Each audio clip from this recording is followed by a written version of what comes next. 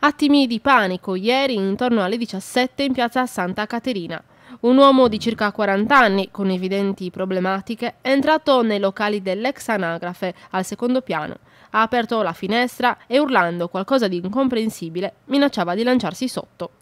La fortuna ha voluto che in quel momento stesse passando una pattuglia della polizia municipale in moto.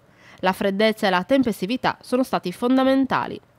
Il giovane deve la vita ad uno degli agenti che prontamente l'ha raggiunto e bloccato. Tutto si è risolto per il meglio grazie anche ad una conoscente del protagonista che ha tranquillizzato il giovane. È intensa l'attività dei carabinieri volta a garantire la sicurezza dei cittadini. In particolare, il Comando Provinciale di Carabinieri di Sassari sta portando avanti la campagna di divulgazione informativa come già aveva fatto l'anno scorso, in tutto il nord Sardegna saranno distribuiti un deplian e un manifesto, attraverso il quale i comandanti delle compagnie incontreranno i cittadini in parrocchie, circoli e altri centri di aggregazione e spiegheranno loro i modi più efficaci per prevenire ed affrontare le problematiche del vivere quotidiano.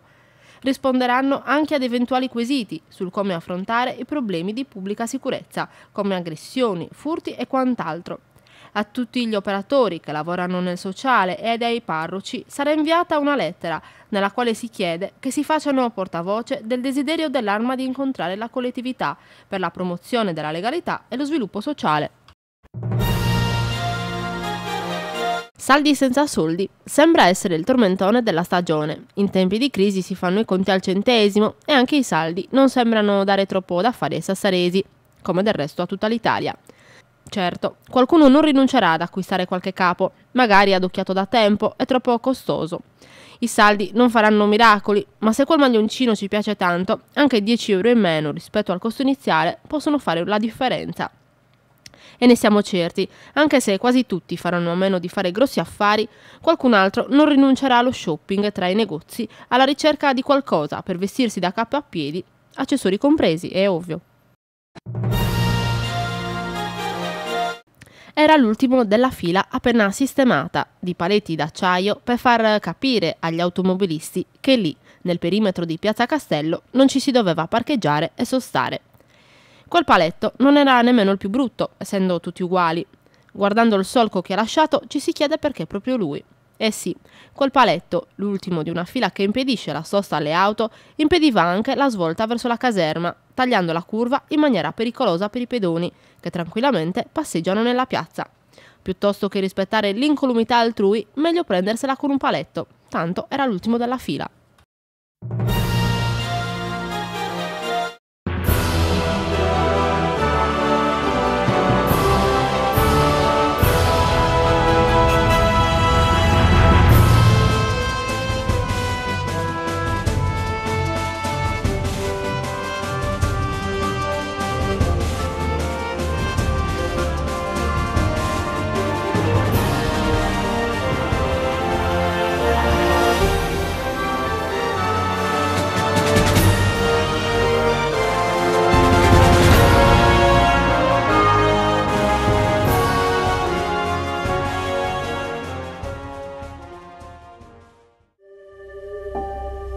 L'istrice africano è un roditore terrestre. La pelle è ricoperta da aculei che raggiungono una lunghezza diversa in base alla specie. Inoltre le aculei vengono utilizzati per la difesa. Essi infatti caricano il loro aggressore facendo una retromarcia molto veloce. Hanno un peso di circa 30 kg e una lunghezza di un metro esclusa la coda che è lunga circa 8-17 cm. Vivono in culicoli e fessure del terreno che spesso scavano da soli. Sono animali tipicamente erbivori. Le femmine partoriscono uno o due piccoli con una gestazione dai 90 ai 112 giorni.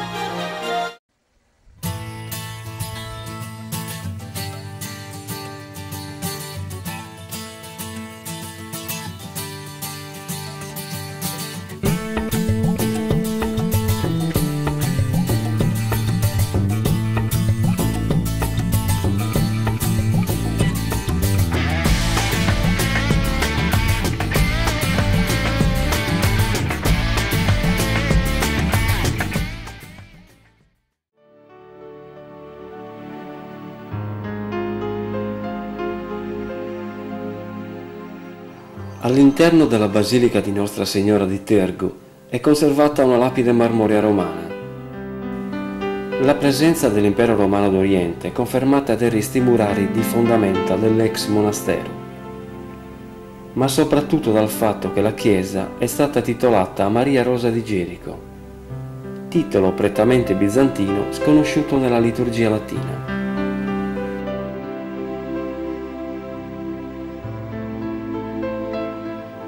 Dopo lo scisma d'Oriente del 1054, i monaci di rito orientale, non volendo accettare il rito latino, tornarono alle loro terre. Quindi i monasteri furono dati alle casate giudicali, le quali a loro volta li donarono ai monaci occidentali e Tergo fu donato ai monaci di Monte Cassino verso il 1080. Nel 1117 il giudice Costantino di Torres, succeduto a Mariano, ampliava e migliorava la chiesa. Il monumento religioso di stile romanico pisano è stato costruito in conci di trachite rossastra e bianche pietre di calcare. L'attuale facciata, priva di fastigio, forse crollato nel XVII secolo, conserva una ricercatezza alquanto insolita. Le affinità di stile con la chiesa di Saccargia dei Camaldolesi fanno pensare che l'ideatore fu lo stesso architetto, Ciononostante Nostra Signora di Tergu appare più raffinata nell'ornato delle forme architettoniche. Questi rilievi stilistici fanno pensare che la chiesa sia stata consacrata probabilmente nel 1127, sotto il regno di Gonario II. Grazie alle sue ricchezze divenne ben presto l'abbazia più importante dei monaci benedettini di Montecassino della Sardegna, da essa dipendevano tutti i possedimenti cassinesi del regno di Torres. Nel 1420 l'abbazia risulta abbandonata. Il Papa nel 1443 dona i beni all'archidiocesi di Sassari. Successivamente subentra la diocesi di Ampurias e Civita, come risulta dalla bolla di Giulio II del 1503, e il suo vescovo continua ancora oggi ad avere il titolo di abate di Tergo. Nel 1664 veniva chiamata Casa degli Angeli, luogo cioè di preghiera. In quell'anno il sassarese Lorenzo Sampero del clero turritano, vescovo di Ampurias e Civita, restaurò questa chiesa come ci conferma l'iscrizione ancora esistente nella cappella a destra della navata. L'abside romanica fu demolita e si costruì l'attuale presbiterio, il quale si presenta con la volta a botte e i muri di pietra non lavorata. L'interno più antico è una navata, ha la volta a capriate e il paramento di trachite a vista. I numerosi graffiti che si trovano nell'arco d'ingresso pare che risalgano al Medioevo e la loro forma ricorda l'impronta di un sandalo, come a sottolineare un pellegrinaggio compiuto al santuario.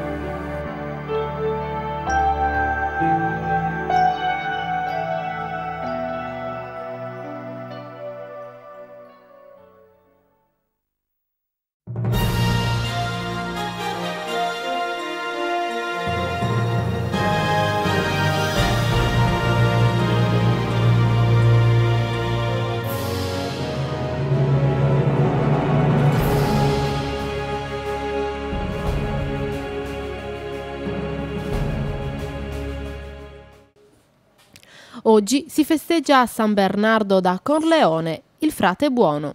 Il sole sorge alle 7.49 e tramonta alle 17.17. La luna leva alle 21.07, cala alle 9.23, gibbosa calante. Domenica 15 gennaio alle 18.30 al Centro d'Arte e Cultura Giuseppe Biasi verrà inaugurata dal critico Francesco Ledda la mostra di modellini aerei della Seconda Guerra Mondiale collezionati da Alfredo Poppa. Le domande per l'assegnazione delle borse Erasmus devono essere presentate entro le 12 del 23 gennaio prossimo. Il modulo è scaricabile dal sito www.unis.it slash applicazioni slash erasmus.php.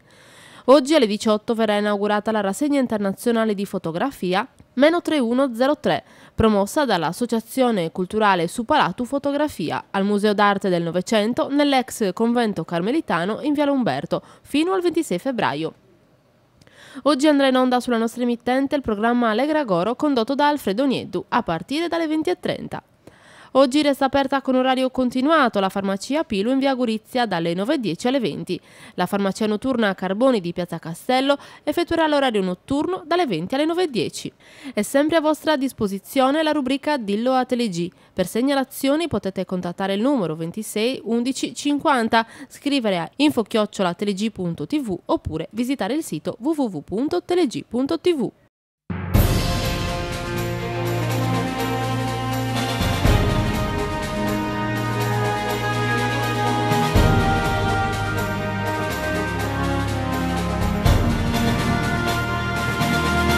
Il tempo previsto per domani, venerdì 13 gennaio.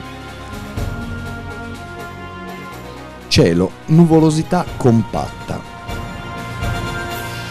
Venti prevalentemente moderati da sud-ovest con intensità di 23 km orari e raffiche fino a 26 km orari.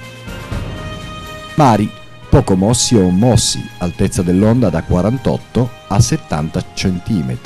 Temperatura dell'acqua in superficie 14,8 gradi centigradi.